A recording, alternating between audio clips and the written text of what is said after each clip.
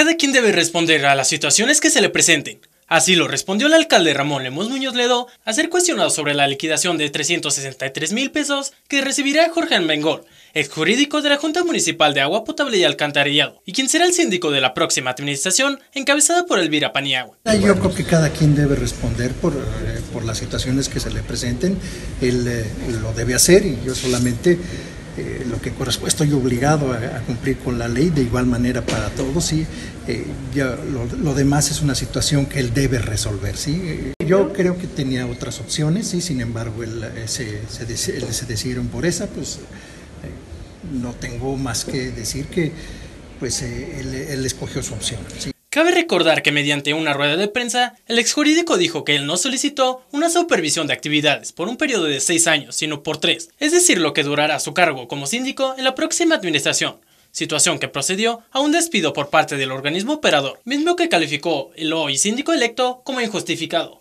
El alcalde puntualizó que al momento de tener ya dos trabajos, debió de decidir por uno, es decir, no solicitar la licencia, ya que a partir del 10 de octubre iniciarán las labores como síndico durante la administración 2018-2021. En el momento en que, que tuviera ya dos trabajos, en ese momento tiene que decidir por uno, ¿no? Simplemente.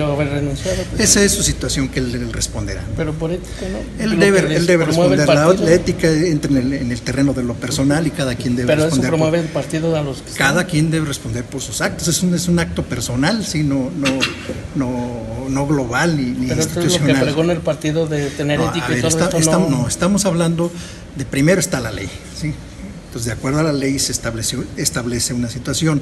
De ahí en adelante es una cuestión que cada quien debe resolver. Él tomó su opción y por ella debe responder. Él comenta que incluso se hubieran ahorrado la liquidación si le Él tomó su opción y por ella, por él debe, ella debe responder. Con información de Karen Delgado, reportó para Vía Noticias, Alexis Sánchez.